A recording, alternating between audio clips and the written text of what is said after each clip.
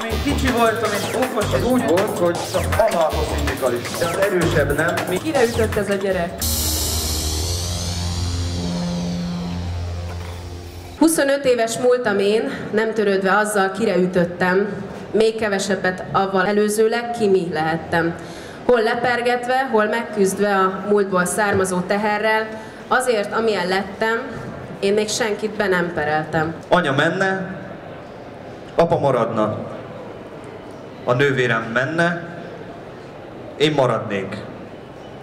De az erősebb nem mindig győzedelmeskedik, hiába hivatkozik anya is és a nővérem is az arányok egyenlőségére és az emancipációra. Szóval apa meg én, a szebbik nem képviselői, mindig hoppon maradunk. Amíg kicsi voltam és okos és kedves és szép, mindig tudták kire hasonlítok.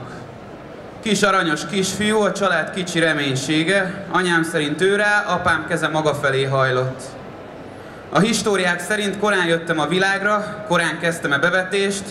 Uram Isten, jön a gyerek, ordított anyám, de azért befejezte azt a teregetést. Gyerek vagy még. Kész felnőtt vagy, tudhatnád. Eddig megetted. Bezzeg ezt a szart eszed. Miért nem mész többet el? Miért vagy mindig itthon? Pedig van eszed. Elment az eszed. Látod, ilyen egy érett férfi. Hány év még, mond hány? Barátnő kellene neked. Úristen, nem hozzád való ez a lány. Inkább a takáccsal barátkoz. Már megint a takáccsal voltál? Inkább igyál, mint hogy drogoz. Úristen, már megint ittál. Kire ütött ez a gyerek?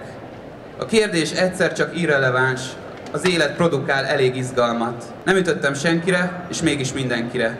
Egyszerre fontos, egyszerre szarok rá, és mosolyogva lájkolom be majd azt a posztot, amit anyám kitesz erről a szövegről, és mellé írja, hogy ő a fiam, és büszke vagyok rá. Amíg kicsi voltam és okos és szép, senkinek nem volt kétsége, hogy ebből a családból származom. Csak a fűszerek aránya felett volt egy kis vita. Nagymama azt mondta, te szép tót orra van ennek a gyereknek tiszta kohut. Nagypapa azt mondta, a székely füleivel ez egy szakasztott Mikó ez a gyerek. Emil bácsi meg azt mondta, ilyen szép kun kalácsfejet sose nem is láttam még, matematikusnak való. Apám szerint olyan vagyok, mint anyám anyja. Anyám szerint meg olyan vagyok, mint apám apja. Apám apja szerint olyan vagyok, mint anyám apja. Anyám anyja szerint meg totál, de totál olyan vagyok, mint apám anyja. Én szerintem meg jó volna már, ha eldöntenék, hogy milyen is vagyok, és közölnék velem is a végeredményt, mert ha így megy tovább, akkor egyrészt, bár az a szép zöldgyep, az nagyon fog hiányozni, de mégiscsak elhagyom a várost, mint Pataki Attila, másrészt meg ha nem döntenek, akkor, akkor én választok, és olyan leszek inkább, mint Emil bácsi, aki szemüveges, aki mindig mosolyog, aki hosszú lódenkabátban jár, és aki mindig megkínál kávéba mártott kockacukorral, és aki matematikus és aki sosem volt normális.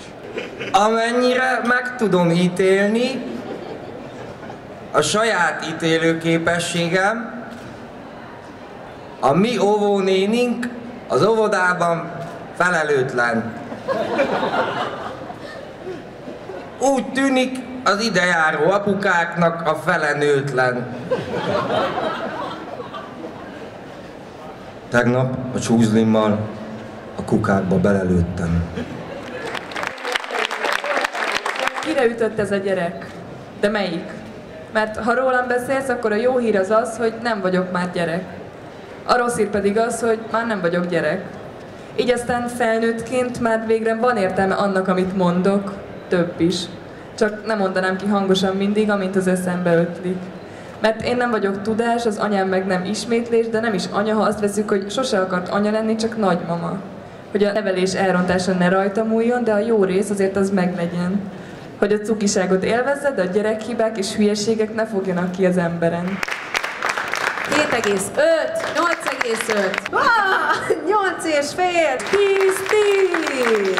Negyedik helyezett Gábor Tamás Indiana, neki is adom majd könyvet, jó? Harmadik helyezett Kemény Zsófi,